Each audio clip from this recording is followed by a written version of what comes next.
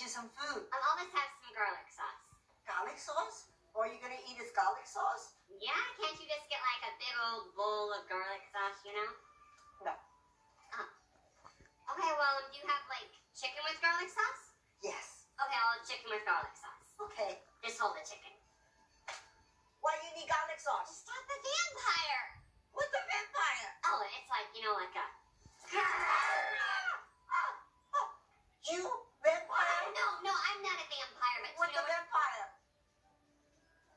Never mind. Anyways, can I just get some garlic sauce, please? Yes, garlic sauce. To go.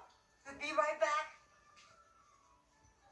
There's a weird kid here. All he eats is garlic sauce. Ooh, that would upset your stomach. He scares me. He creeps me out. I'll out. get a garlic sauce. No, no, I don't want to be out here with him. Oh, say hi to all the people.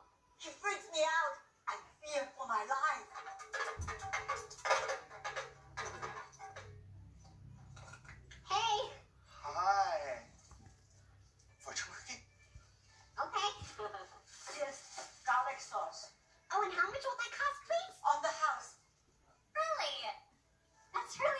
you guys. You, you guys are good people. We're very nice people. You